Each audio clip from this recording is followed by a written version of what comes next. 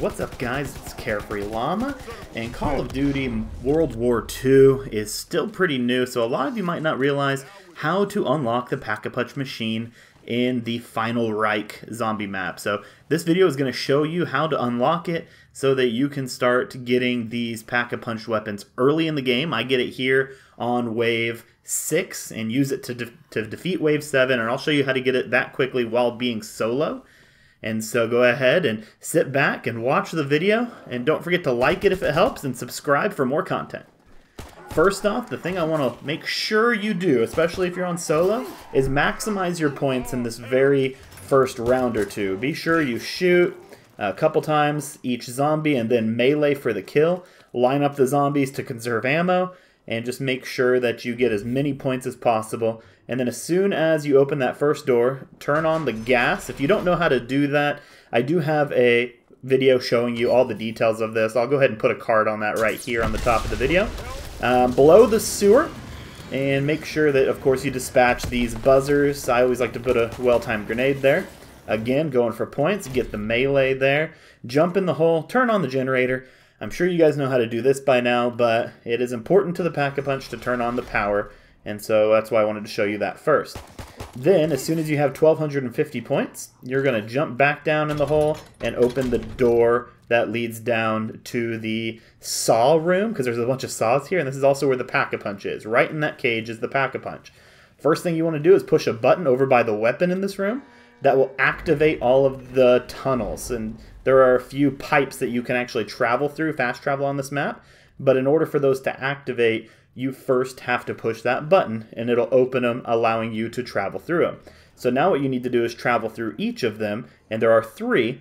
And once you do that, it'll lead you to a caged off area down in the Pack-a-Punch room where you can then push a button and start opening the Pack-a-Punch. Here's me just showing you again. It's only round three. Melee, shoot them five, six, seven times with the pistol. Melee for the most points possible. Uh, for this one, we're going to be going to the pub. You're going to want at least uh, 3,250 points in order to open both gates for, at 1,500 and then travel down the tube, which is 250. I have 3,070, so I went ahead and made my way there, knowing that I just need to kill one zombie once I reach it in order to travel through the tube, and pushing the very first button to open the Pack-a-Punch.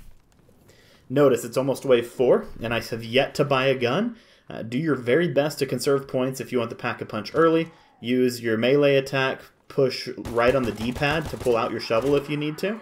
And then, of course, use your pistol, shoot him as many times as you can, melee him, and then ride the tunnel all the way back to the Pack-a-Punch room. Push the button, ride as you exit, and you'll hear a little bit of a machine clanking. That's the Pack-a-Punch starting to open.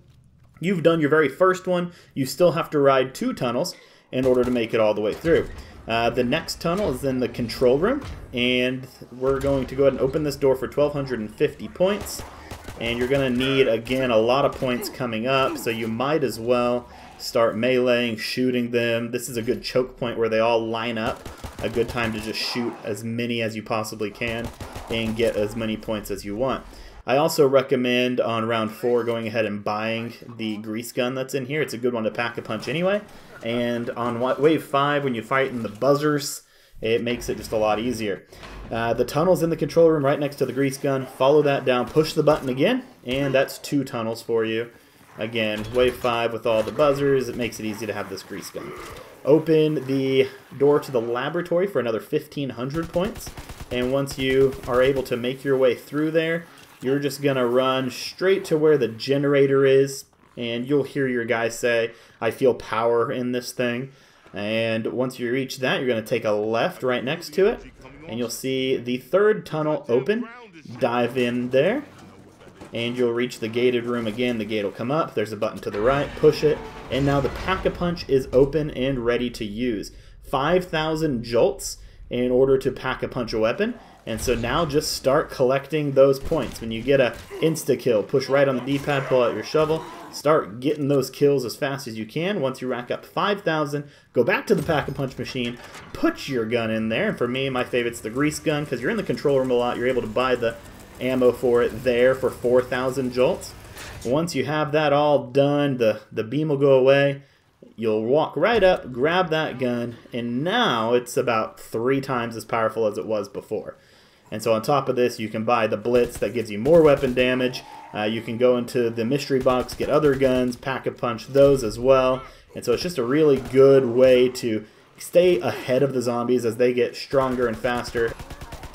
So thank you for watching. If this video helped you, click that like button. And if you want to see more Call of Duty content here in the future, go ahead and subscribe. I'm going to go through the Easter egg. I finally made it to the big boss fight in this. I'm going to be posting videos of how to get to there. So if you like the way I teach you, go ahead and hit that uh, subscribe button so you don't miss a single video. Anyway, this is Carefree Llama, and you guys have a great day.